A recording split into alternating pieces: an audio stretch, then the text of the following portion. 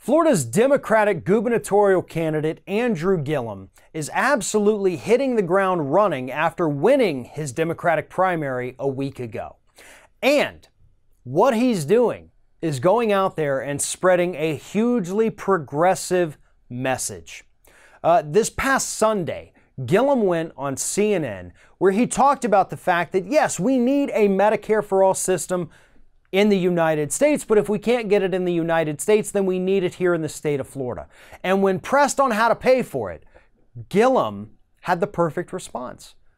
He said, We're going to raise taxes on wealthy corporations.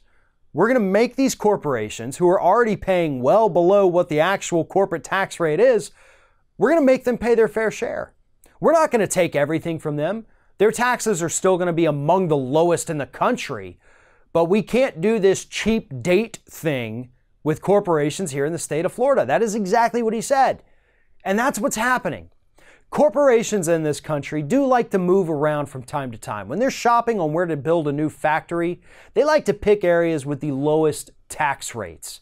And oftentimes, areas, cities, states will lower their specific taxes just to attract that new business because usually that new business is also going to kick in some campaign funds for whoever happens to be running that state.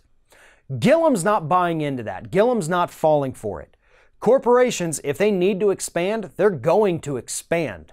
They have to, or else they start losing money. And all he's asking is uh, what is the number?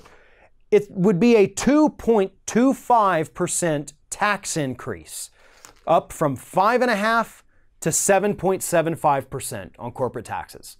So a 2.25% tax increase on corporations. Almost not even noticeable for them, right? 2.25% increase in taxes. And that would help pay for Gillum's plan for a Medicare for all system here in the state of Florida. He also admits that that's not going to be enough. He doesn't want to raise taxes on them too much to drive them out of the state. So, part of his other, uh, the other part of his plan, excuse me, is to reach out to other states and to insurance companies and, and pharmaceutical companies, get everybody to come together, have the corporations agree to lower prices a bit, make things more affordable, and have other states come in and, and help buy into this program and fund it as well. And then everybody wins.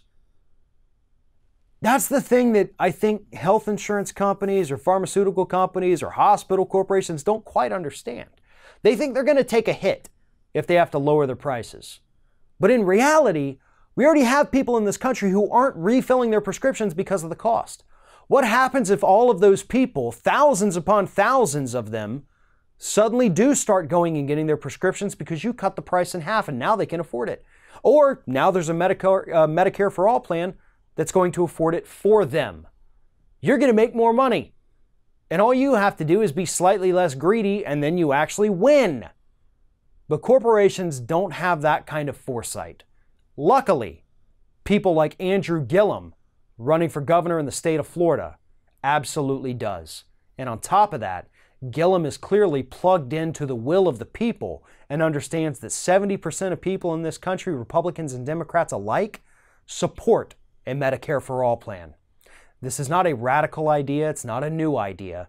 It is a mainstream idea, and that is what Andrew Gillum is running on.